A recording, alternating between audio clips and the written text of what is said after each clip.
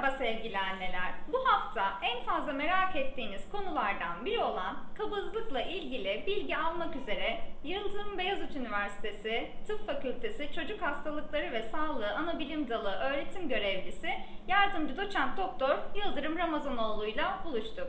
Hocam öncelikle teklifimizi kabul ettiğiniz için çok teşekkür ederiz. Bu konuda anneler de bize sıklıkla birçok soruyla geliyordu. Şimdi ben size bu soruları ileteceğim. Bize en fazla sorulan soruları. Çocuklarda kabızlıkla ne sıklıkla karşılaşıyorsunuz çocuk polikliniklerinde? Sevcan Hanım, mide bağırsak sistemindeki sorunlarla ilgili olarak en sık karşılaştığımız sorun kabızlık çocuklarda. Tabii bu özellikle yeni doğan çocuklarda dış ortama uyum süreci içerisinde meydana gelebileceği gibi farklı nedenlerden dolayı da meydana gelebiliyor. Tabii bu çocukluk yaş grubunun farklı dönemlerinde de karşımıza çıkabilen bir sorun. Sorun yetişkinlerde de ortaya çıkabilen bir sorun. Burada tıbbi terminolojide konstipasyon dediğimiz halk arasında kabızlık olarak tanım, tanımladığımız bu problem haftada iki veya daha az sayıda dışkılama ile ortaya çıkar. Yani eğer haftada iki defa ancak dışkılayabiliyorsa çocuk veya yetişkin veya bundan daha az dışkılayabiliyorsa o zaman biz buna artık kabızlık diyoruz. Tabi burada özellikle ince bağırsaklarda sindirim tamamlandıktan sonra gıda besin maddeleri ince bağırsaklarda emildikten sonra büyük abdest muhtevası epeyce oluşmuştur. Artık o materyal yani posa su içermektedir. Gıda maddelerinden arındırılmıştır. Çünkü onlar ince bağırsaklar tarafından emilmiştir. Bu materyal içindeki su ise kalın bağırsaklar tarafından emilir. Bu materyalin kalın bağırsaklar içerisindeki geçiş süreci uzadıkça su daha fazla emilecek ve bağırsaklar içerisindeki bu büyük abdest muhtevası yavaş yavaş sertleşmeye başlayacaktır. Eğer bu süreç pasaj deriz biz buna tıpta, büyük abdest muhtevasının geçiş süreci çok uzarsa o zaman da artık sertleşme artacak, kabızlık ortaya çıkacaktır.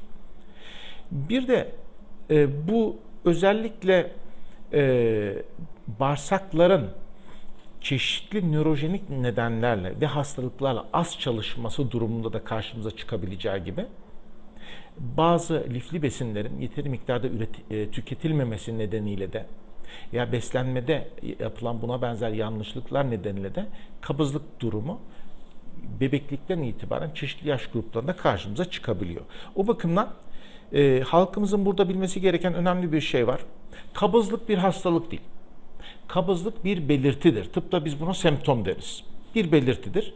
Dolayısıyla kabızlığa yol açan faktörleri tespit edip buna göre tedavisini yapmamız gerekir. Kabızlık bir hastalık olmasa da çocuklarda bazı fizyolojik ve psikolojik sorunlara neden olabiliyor aslında. Peki bu noktada sıklıkla karşılaştığımız güçlükler nedir? Nedir kabız çocuklarda? Tabii kabızlık da öncelikle dışkının olması gerektiği gibi düzenli olarak bağırsaklardan atılamaması gibi bir sorunumuz var. O zaman ne yapacak? Bu dışkı bağırsaklarda gereğinden fazla kalmaya devam edecek ve yer işgal edecek. Bağırsaklarda dışkı yer işgal etmeye devam ettiği için kabızlıktan dolayı daha yukarıdan gelmesi materyal ilerleyemeyecek. Daha yukarılardan gelmesi gereken materyal ilerleyemeyince yukarı doğru geri vuran, mideye kadar yansıyan tabi bir gaz oluşumu ortaya çıkacak. Şimdi özellikle kabızlıkta gayta porsiyonlar arasında sıkışan gaz e, bölümleri hem şişkinlik yapar, hem karın ağrısı yapar, hem de doygunluk hissi yaratır. Yani insan vücudu bağırsaklar, mide gerildiği zaman, gazla veya gayta ile gerildiği zaman e, insan beyni bunu doydu, artık yemeği kesmesi gerekir şeklinde algılayabilir özellikle hipotalamusta bu algılama merkezleri vardır.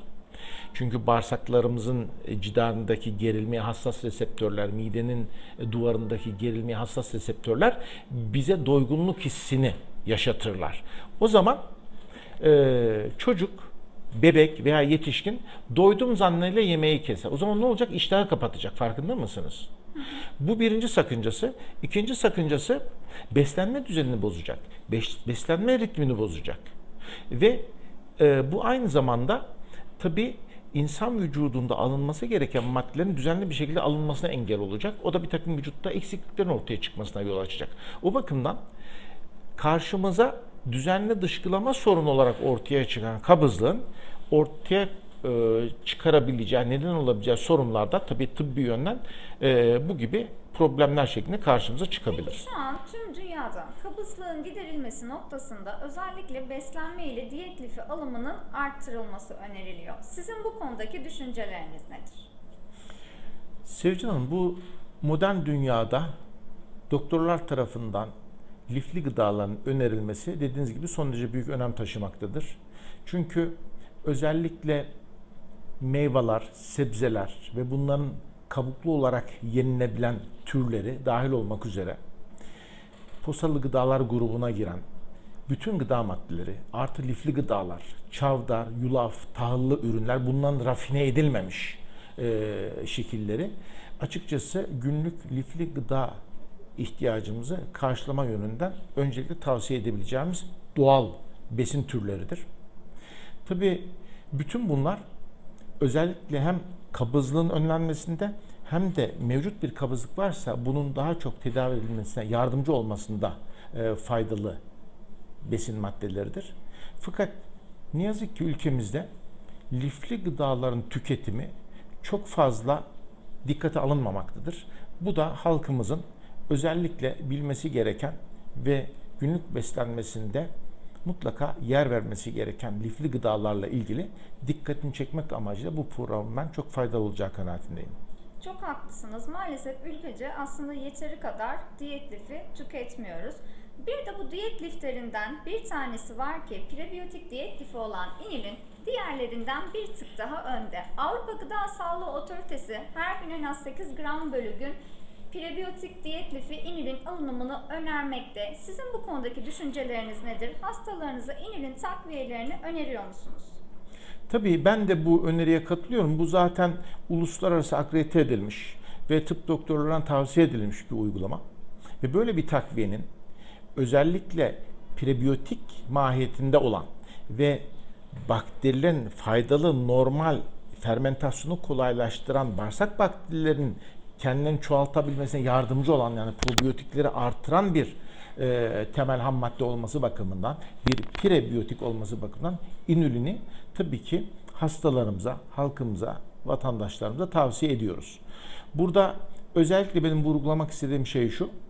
Hem lifli bir yapı içermesi hem polimerize bir yapıda olması itibariyle çabuk e, hazmedilebilmesi ve kolay tolere edilebilmesi, hiçbir yan tesiri olmaması, doğal bir e, ürün olması bakımından da tabi inülinin e, bir şekilde tıbbi uygulamalarda son zamanlarda önemli bir yer edilmesi mümkün olmuştur.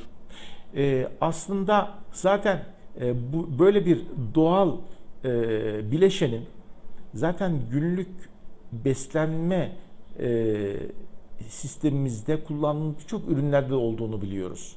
Kara hindiba bitkisinde, patateste, soğanda, sarımsakta, andız otunda, pırasada yani yer elmasında buna benzer birçok ürünlerde inulin zaten doğal olarak bulunması da bizim vatandaşlarımızın bunu daha kolay tanıması ve daha kolay e, mide bağırsak sisteminin sağlığı açısından kullanabilmesi yönünden de önemlidir diye düşünüyorum. Çünkü özellikle doğada bir karşılığı olan ürünlerin uygulamada da biz doktorlara çok büyük kolaylık sağladığını görüyoruz.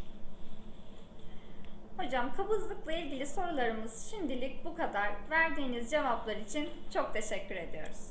Ben de size teşekkür ediyorum. Halkımıza selamlarımı, saygılarımı iletiyorum.